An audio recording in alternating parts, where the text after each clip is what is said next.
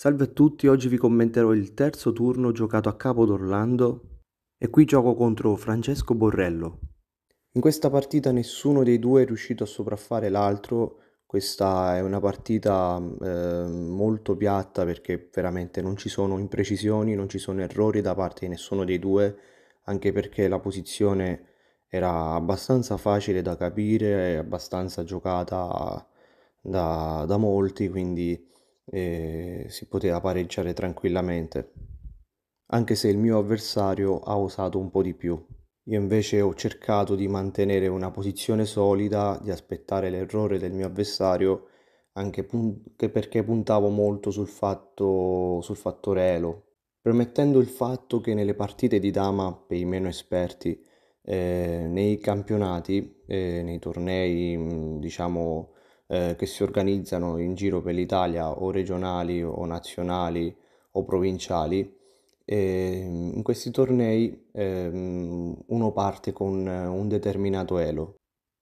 Gli elo sono dei punti che vengono diciamo affidati eh, durante il passaggio da provinciale, cioè la prima categoria, a regionale, alla seconda.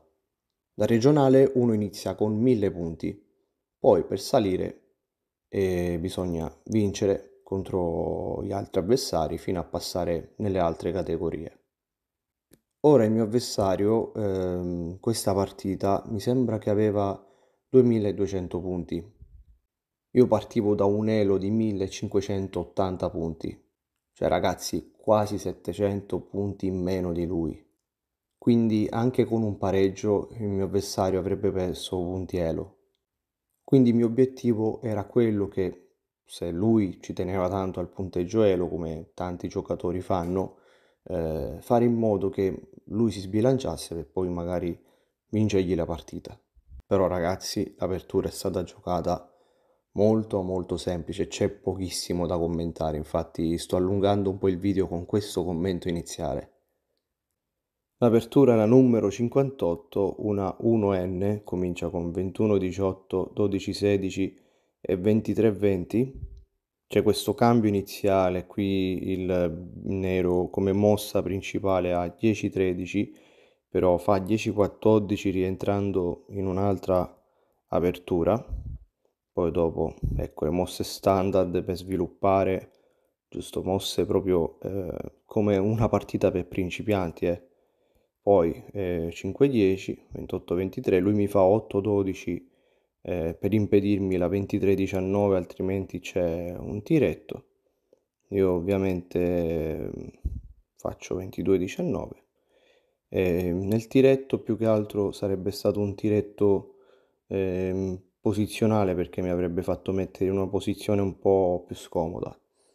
Da questa posizione ragazzi io faccio 22-19 lui mi fa 10-14 cambio, io catturo con la 27 perché con la 26 qui mi sentivo eh, pressato e mm, magari non so se qua c'era qualche attacco, comunque ho controllato che anche catturando con la 26 qui la posizione è pari ma faccio con la 27, lui 12-15, io metto dei pezzi per cercare di contrastare il centro, lui fa 2-6 molto buona e anche ehm, sbilanciandosi, diciamo, eh, vuole tentare di fare qualcosa in più, di complicare la posizione, ma è molto semplice.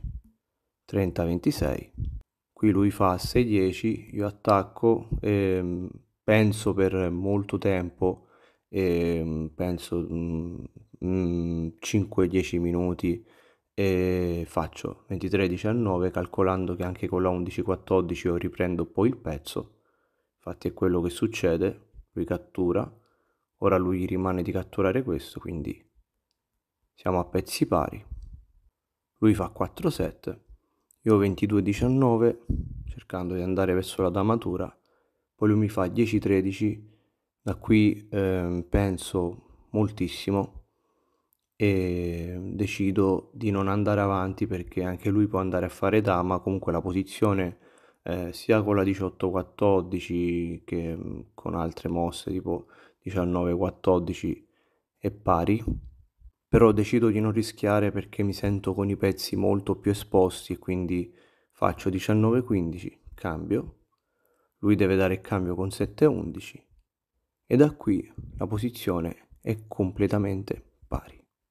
Giochiamo ancora qualche mossa, poi andiamo a finire eh, in una eh, pari con due dame contro due e le pedine bloccate e da lì facciamo direttamente pari. Ora non ricordo bene le mosse giocate, ma comunque la posizione è stata abbastanza giocata bene. Mi dispiace la partita troppo piatta, ma vi assicuro che il quinto e sesto turno saranno partite e molto più combattute. Grazie a tutti per la visione, vi ricordo di mettere un mi piace se il video vi piace, di iscrivervi al canale per non perdervi i prossimi contenuti e noi ci vediamo alla prossima.